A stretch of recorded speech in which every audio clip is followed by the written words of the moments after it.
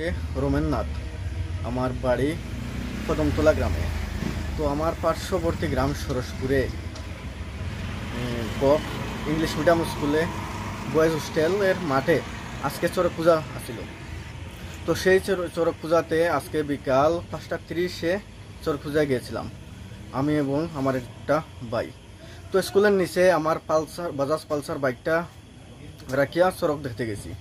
তো চড়ক পূজা শেষ যখন বাড়ি যেতাম গে তখন বাজের সাতটার সময়।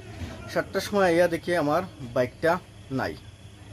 তখন অনেক খোঁজাখুঁজি করছি পার্শ্ববর্তী জায়গায় কোনো জায়গায় পাইছি না। তারপরে কদমতলা থানায় আইয়া এখন মিসিং ডায়েরি দিছি।